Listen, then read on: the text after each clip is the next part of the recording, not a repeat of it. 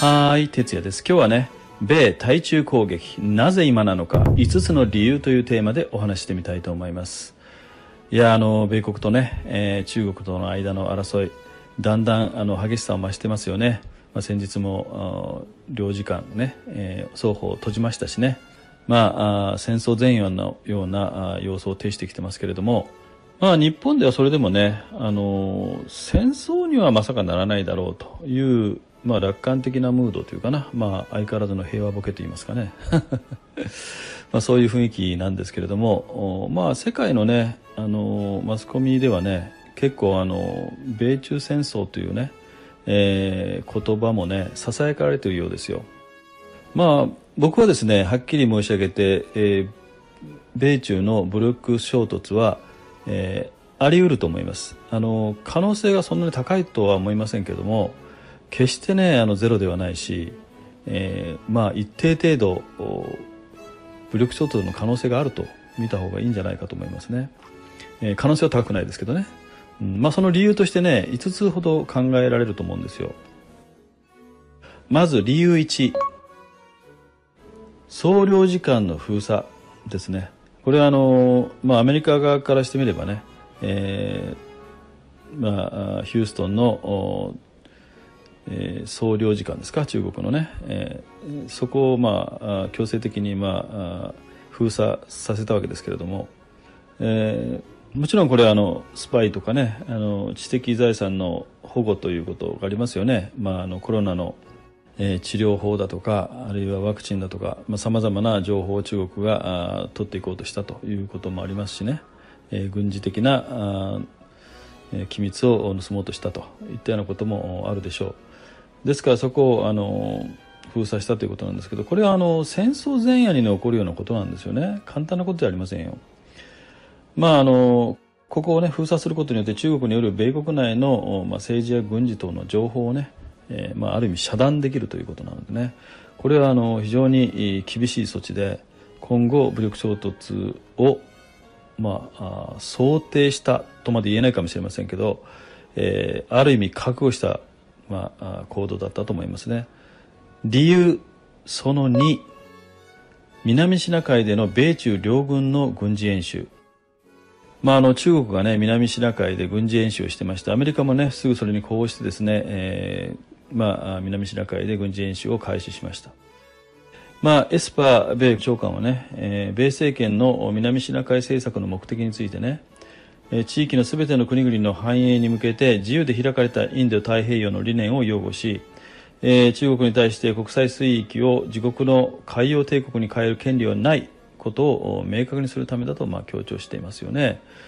まあ、米政権はですね、もともと7月13日にもですね、えー、南シナ海をめぐる中国の主張は根拠がない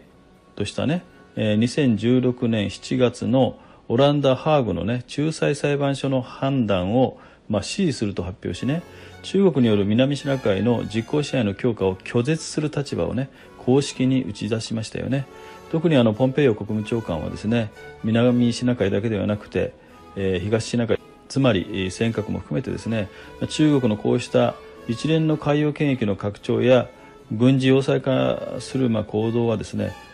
違法だとね、えー、断じたわけですね。まあ、あの戦略としてね真珠湾のようにですね中国側からの攻撃をね誘発させるのか、まあ、それともねあえて米国からですね、えー、先制攻撃を仕掛けるのか。これは別としてですね何らかのきっかけで武力行使に踏み切る可能性が高まっていることは、まあ、間違いないと思いますね。えー、アメリカが対中攻撃をする、ね、理由その3、えー周辺国の協力が得やすいということなんですね。まあ、あの今ね、えー、南シナ海周辺国、うん、例えばフィリピンだとかベトナムだとかインドネシアとかね。こういう国々はやっぱりあの中国に対して非常にやっぱり反発心を持ってますよ。ですからこの国々にももちろん当然協力要請すればね、えー、協力してくれるでしょうしね。あとオーストラリアですよね。オーストラリアはあの、まあ、中国と今非常にこう揉めてるじゃないですか、まあ、中国のね、まあ、コロナに対する責任をね、えーまあ、はっきりさせたいと。えー、しっかり調査しろって国連にね申し入れたりして、まあ、中国はそれに反発してですねオーストラリアからの大麦とかあるいは牛肉だとかね、えー、の禁輸にまあ踏み切りましたしね。あるいはあの中国人が、まあ、オーストラリアに旅行することをね、えー、ストップしたりというようなことがありますでしょう。で、まあ、オーストラリアもね対中貿易非常に大きくてね、まあ、中国依存度の高い国ではあるんですけどねやっぱり自由とか民主主義とかね基本的人権とか法の支配とかそういったね人類普遍の価値についてはね絶対守らなきゃいけないという信念を持ってますからね。今完全にも方向転換してます。新中国ではもうなくなったんですね。ですから、まあ、オーストラリアの協力も得やすい。それからインドですね。これはあの国境紛争あったじゃないですか。インド人の、まあ、軍人がねもう20人ぐらい殴り殺されたとか、まあ、中国人も相当数亡くなってると思いますけどね、えー、ああいうその国境をですねあのなんていうかな犯すようなね行動を取るということはもうこれものすごい反発を買いますね。だからインドは今完全に反中になってますよね、えー、ロシアからね、えー、ミサイルを購入したりしてねもうインド自体がね戦争してもおかしくないようなレベルになってるんですよね。ですからインドの協力も得やすい。それからイギリスですよ。これはあの香港国家安全維持法。ね。これはあの香港の自治が完全に奪われてですねまあ、中英共同声明でのね、まあ、一国二制度の約束をね完全に、まあえー、保護にされましたからね。これイギリスは相当怒ってますよ。ファーウェイを排除した最大の理由はここにあると思うんですね。ですからイギリスからの協力も得やすい。そして、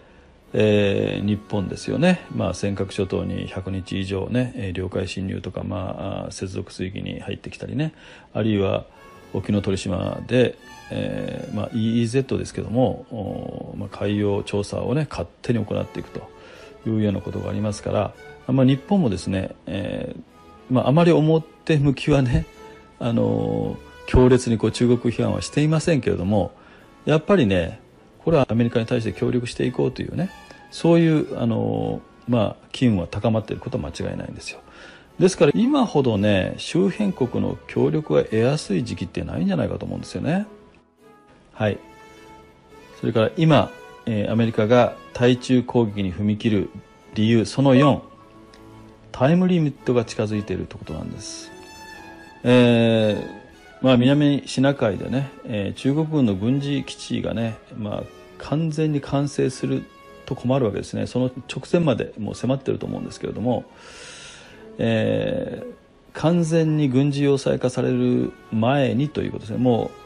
うもうちょっとでね、えー、完全な軍事要塞化してしまうというね、えー、状態ですよね。だから今しかないと。またあの軍事力的な面を見てもですねまあ米国の軍事力がねもう中国と拮抗するまあところまで今言ってませんよね、まあ、軍事予算から言うとえー、中国の軍事予算はおそらく20兆円ぐらいでしたかね。アメリカは僕の記憶では70兆円ぐらいまであると思うんで3倍以上の軍事力を、まあ、持っていると、まあ、お金だけでね判断するわけはいかないんですけれども。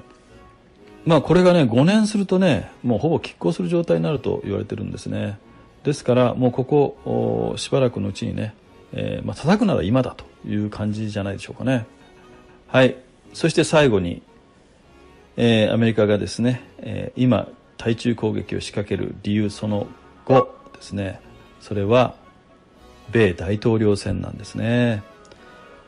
まああの11月にね大統領選があります。でトランプはどうしても勝ちたいんですよね。まあ今バイデンにねまあ、10ポイント以上水を分けられているという、まあ、情報もありますけれどね、まあ、実際はそこまで荒いてないのかもしれませんけども非常に危機感を抱いているのは事実ですよトランプ陣営がね。ですからあの何らかのやっぱりねあの起死回生の行動を取りたいという気持ちがあると思いますよね。まあ、トランプはねよくあのビジネスマンビジネスマンと言われますけどねやっぱりあのなんていうのかな。政治家だと思いますよ僕は。あのお金なんていらないじゃないですかもう彼ぐらいになるとね。あの何千億持ってるか知らないですけど。やっぱりあのお金のためというよりも自国を良くしたいという思いがね、えー、非常に、えー、まあ、そういう情熱があるんじゃないかと僕は思ってるんですよ。ね。まあ、ですからねあとどうしても4年やってね、えー、自分の思いを遂げたい。まあ総仕上げをしたいという気持ちがね非常にトランプさんの中では強いんじゃないかと思うんですよね。やっぱりあの戦時の大統領をですね変えるということは米国民はしないと思いますよ、うん、今中国というね巨大な敵と戦っている大統領をですね引きずり下ろして、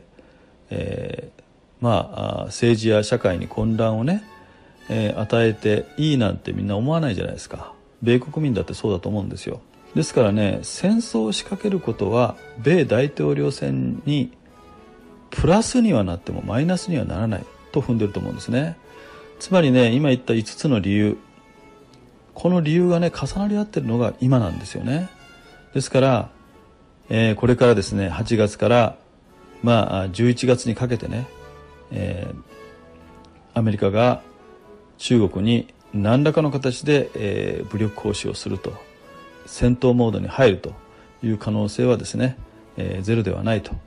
えー、むしろねある程度あるんじゃないかというふうに、えー、私は思っています。あなたはどうお考えでしょうか？ではまた。Good luck